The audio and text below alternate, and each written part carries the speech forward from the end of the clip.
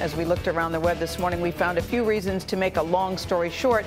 Check out the Duchess of Cambridge on HelloMagazine.com. The former Kate Middleton caused quite a frenzy in the UK when she stepped out with Prince William wearing a floor length gown with a very long split.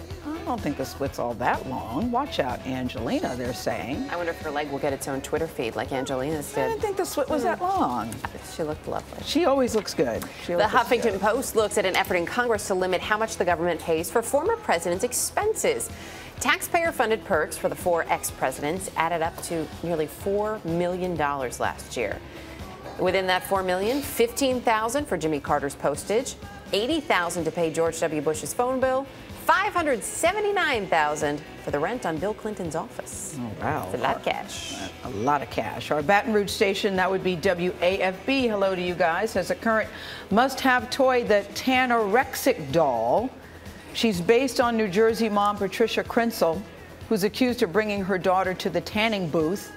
The doll makers call it a perfect gift for your tan BFFs. On a side note, Krencil's lawyer says her client is a victim of tanism. He compares it to racism. To quote the producer Rachel here, stop the crazy. That was a good Rachel impersonation. guess you have to know Rachel to appreciate it, but she does kind of sound like that.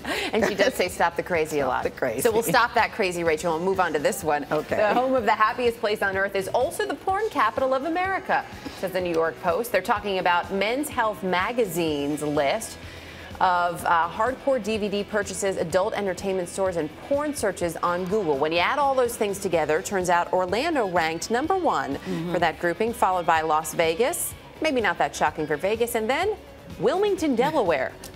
That's a surprise.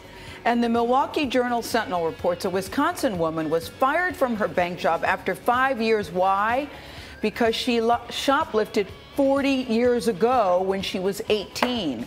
Wells Fargo let her go last week after a background check because no one can work at a bank with a criminal record.